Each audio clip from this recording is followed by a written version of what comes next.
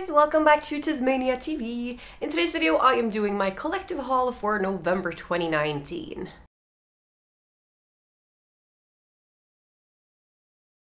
After Halloween, I spent a couple of days with my parents and me and my mom went shopping and got a bunch of fun stuff for me. Starting with four items from H&M. First off, we have this lovely red cocktail dress with mixed animal prints. I have a very similar dress to this in a leopard print, and I absolutely love that dress. When I saw this one, I knew I had to have it. It's very comfy and stretchy, a perfect party dress pretty much. I also got another cocktail dress from them, which is this silvery one. A similar model and fabric as the red, but with folds and sort of a draped neckline. I thought this would be the perfect dress for New Year's Eve because of the silvery awesomeness. Then I got a pair of jeans. These are stretchy, high-waisted white leopard print jeans. I forgot to remove the tag before filming, but yeah.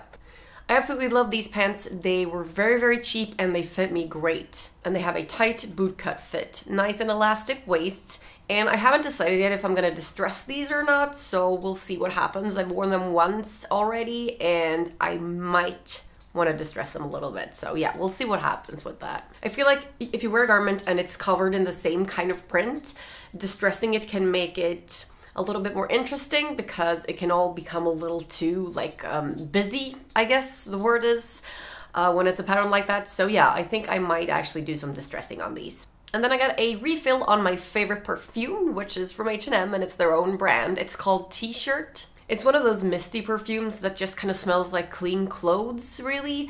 It's very gender neutral and just fresh. I hate smelling like a piece of candy or a bunch of flowers or anything like that, so very, very strong perfumes are not for me. I prefer the more discreet ones that are just, well, fresh, like this one. We are moving on to this month's items from Shein. And before I show you these, I just want to mention that as this video is being posted, you still have a couple of days left on the Shein Black Friday sale. So even though I did a separate video for Shein and Black Friday, I will still include that same Black Friday code in this caption box because there are a couple of days left to use that discount code. And the discount code for Black Friday ends on December 2nd, but you also, as always, have my regular discount code from Shein. I will include all of this and any other kind of information, including direct links in the caption box to this video.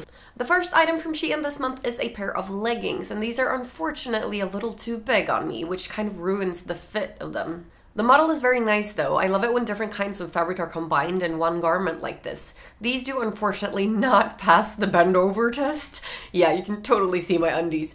But if I wear a longer tee or tank top over these, the issue of transparency and the fit being too loose actually isn't an issue anymore. And that's basically how I wear leggings anyway, with like a longer t-shirt over them. So it's really not an issue, but just like keep that in mind if you want to wear these for working out or stuff like that. That they are a little transparent and uh, these, yeah, they were just looser in the fit than I expected them to. Then I got a black and white stripy dressy jacket that is slightly longer than your standard jacket, which I actually like because I think it looks good when you wear it over dresses that way.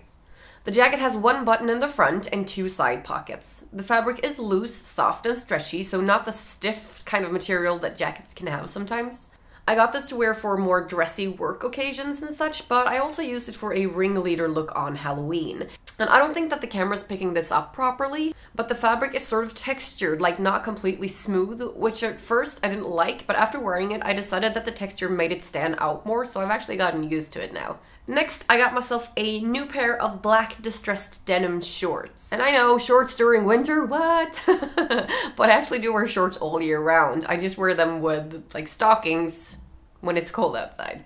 These fit great in the waist, but they feel a little too baggy over the crotch almost. I feel like they're a little slouchy on me. They have real pockets both in the back and on the sides, and the distressing looks lovely, but then on the sides, there's like a weird fold in the bottom hem that I don't really know how I feel about. The fold is only made in that one spot, so the fabric doesn't stay folded all the way around your thigh, and I'm not sure I like how that looks. We'll see if I maybe cut that off or do something with it going forward. And the final item from Shein this month is a bright red dress. I know I have a couple of very similar dresses, but I just love dresses like this, so why not have more than one? This is a model of dress that's actually one of my favorites, with a draping and thin shoulder bands, but this fabric is not what I was expecting. It's like a thick velvet. I also feel like the thickness of the fabric isn't very flattering on the body, Maybe if I gotten it in a smaller size because it is a little loose in the back right now, like over the top of my back. But like I said, I do love the drapey effect. And it is a nice cocktail dress, so we'll see if I get some wear out of this. I think I might wear it for Christmas actually because it has that really bright red color. Again, you will find the direct links and discount codes in the caption box. Let's move things along, shall we? We're gonna take a look at some thrifted items that I got while I was shopping with my mom. We went to this huge thrift store in Uppsala where they live, and we were allowed to bring my dog inside, which was awesome. So he was just in there with us, casually hanging out in one of those shopping carts. So freaking adorable. I got six items all in all from the thrift store. And the first one I'm going to show you is a black and white dress. It's like a classic skater dress that was originally from H&M and I actually have this in gray from before and it's a really great dress. It has a comfy jersey material, I love the model and the fact that the stripes shift from vertical to diagonal, I thought that was a nice touch. I also love that it's not just regular black and white stripes, but like almost melty runny stripes. That was a pretty cool touch, I thought. I also found an asymmetrical bright red cardigan, and I'm so happy about this. It's basically a huge rectangle with sleeves. It's a nice thick knit without being itchy. It's slouchy and loose in the best kind of way, and even though it doesn't have any buttons or a way to close it, you can of course wrap yourself in the sweater and wear like a belt or use safety pins to close it if you want to. I prefer it open though, so you can see the outfit underneath as well. I also got two other sweaters at the thrift store. The first is this black knit with slits on both sides, which I thought was a nice detail. Lots of space in there too, very roomy, so just like a standard sweater, which is great. This is a little itchy though, so I'll probably wear this when I'm wearing something long sleeve underneath. Otherwise, I'm gonna go crazy, like scratching myself. And then the third sweater is gray and it's almost like a sweater dress because it's so long. It'll keep my ass from freezing this winter. And it has an enormous snug turtleneck that you can wear as it is or even pull up over your head like a hoodie, which is great if you forgot your beanie or something. Since I buzz my head pretty much down to nothing except for my bangs, it's a really good idea to be able to cover my head when it's cold because I'm gonna freeze otherwise. I also got two baby onesies for my dog. And I have a tutorial here on YouTube on how to adapt these if you want to try it for your pooch. So we have a gray one with white details and a red one with white stripes. And here is what he looks like in them after they have been adapted for a dog. While I was shopping with my mom, I also got some stuff from New Yorker, starting with these red leggings in a plaid pattern. These are thick and warm and they totally passed the bend over test. Yay! I also got this lovely bra top in red leopard print, which is like the only kind of bra I ever wear. I don't do regular bras at all. It's this or nothing. it's got adjustable straps, which is great. And I also bought a set of three undies to match the bra. So we have the red leopard ones, solid black ones, and then zebra print. And then I was too lazy to try these on, but I also got a standard pair of thigh-high black socks with white stripes at the top. Always a nice way to spiff up an outfit and to stay warm, of course. Then me and my mom spent some time looking for a proper winter jacket for me. You guys know that I live in Sweden and it can get really cold here. So I wanted a proper, like, big, super, super warm one that will keep me warm even if the temperature drops below 20 degrees minus because, yeah, that happens. So we went to a shop called Veromoda and uh, I found this awesomeness. It's a black, insanely warm winter coat with a huge faux fur hoodie to keep my shaved little head warm. This thing has six enormous pockets on the front, which is so great, both for keeping your shit in, but also to shove your hands in if you're cold. It has both a zipper and buttons all the way down the front so you can stay really warm. And again, the hoodie is great. You can really hide out in there if you want to. And I also love the length of the jacket, like it's down to my knees, which is great. The sleeves are properly made to keep the cold air from entering, and this is just such a well planned, thought out jacket. Sweden really can get insanely cold, so I'm gonna be hiding out in this thing as soon as the temperature drops below zero.